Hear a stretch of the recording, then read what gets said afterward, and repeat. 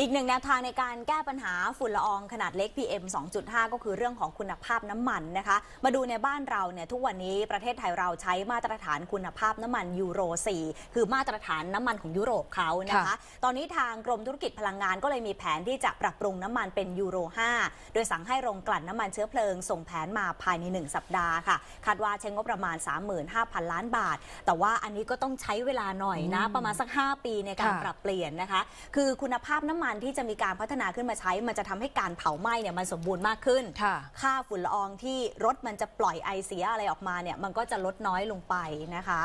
ทางอธิบดีกรมธุรกิจพลังงานนางสาวนันทิกาทางสุภานิชนะคะก็บอกว่าหลังจากที่มีการประชุมหารือร่วมกับโรงกลั่น เรื่องการปรับปรุงมาตรฐานคุณภาพน้ำมัน โดยเร่งรัดให้โรงกลั่นน้ำมันเชื้อเพลิงทั้ง 6 ราย ส่งแผนปรับปรุงมาตรฐานน้ำมันเชื้อเพลิงภายใน 1 สัปดาห์ เพื่อปรับเปลี่ยนคุณภาพน้ำมันจากยูโร 4 มาเป็นยูโร 5 ซึ่งปล่อยมลภาวะน้อยกว่า และช่วยทำให้อากาศสะอาดมากขึ้น โรงกลั่นทั้ง 6 โรงก็พร้อมจะทำตามนโยบาย โดยมีต้นทุนในการปรับเปลี่ยน 35,000ล้านบาท คาดว่าใช้เวลา 5 ปีนับจากนี้ไปค่ะสำหรับการส่งเสริมการใช้น้ำมันดีเซล B20 แทนน้ำมันดีเซลแบบปกติ ในช่วงเดือนธันวาคม ปีที่ผ่านมามี5ล้าน2แสนลิตร เพิ่มขึ้นจาก3ล้าน5แสนลิตร ในช่วงเดือนตุลาคมถึงพฤศจิกายนปีที่ผ่านมา ซึ่งมีแนวโน้มสูงขึ้น แล้วก็คาดว่าในเดือนมกราคมนี้นะคะจะมีปริมาณการใช้งานที่ 10 ล้านลิตร เนื่องจากบริษัทขนส่งจำกัดหรือว่าบกส และทางคสมกก็ปรับมาใช้กันมากขึ้น และได้พิสูจน์แล้วว่าน้ำมันดีเซล B20 มีการปล่อยมลภาวะน้อย ทั้งนี้จะเร่งขยายการจำหน่ายในสถานีบริการน้ำมันต่างจังหวัดให้มากขึ้นนะคะ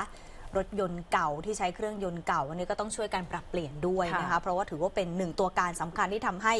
มันปัญหาฝุ่นละอองขนาดเล็กเนี่ยมันเพิ่มมากขึ้นด้วยนะคะ ใช่ค่ะไอะอย่างเรื่องน้ำมันเนี่ยหลายคนโดยเฉพาะพี่ๆที่ขับรถบรรทุกเขาอาจจะบอกว่าโอ้โหมาใช้ B20 ซึ่งมีส่วนผสมของปาล์มเนี่ยค่ะอาจจะทำให้เครื่องยนต์ของเขาอุดตันหรือเปล่าเวลาเหยียบแล้วมันเร่งเครื่องไม่ไม่ขึ้นไปเพราะรู้สึกว่ามันช่วงของการปรับเปลี่ยนเนี่ยมันอาจจะยากสักนิดหนึ่งถ้าเราลองมองย้อนกลับไปในช่วงที่เรากำลังจะใช้น้ำมันแก๊สโซฮอล์จำได้ว่าช่วงนั้นจะมีแต่คนบอกว่าโอ้โหเปลี่ยนไม่ได้หรอก เครื่องพัง เออเดี๋ยวเครื่องก็พัง ขับก็จะไม่ค่อยขึ้น เดี๋ยวจะมีปัญหาจนมีโฆษณาที่ออกมาบอกว่า เกิดปัญหาอะไรขึ้นโทษอะไร โทษแก๊สโซฮอล์แต่จนถึงทุกวันนี้ถามว่าเราทุกคนก็เติมแก๊สโซฮอล์เป็นเรื่องปกติ ดังนั้นเราก็ต้องมาค่อยๆ ปรับเปลี่ยนพฤติกรรมกันไป มันอาจจะลดลงบ้าง แต่ว่าถ้าช่วยให้ภาพรวมแล้วมันดีขึ้น อนาคตไม่ว่าจะเป็นเรื่องของน้ำมันปาล์มค่ะราคาปาล์มก็ดีขึ้นในส่วนหนึ่งละ และที่สำคัญเรื่องสิ่งแวดล้อมอันนี้เนี่ยสำคัญมาก ๆ ใช่ต้องช่วยกันนะคะ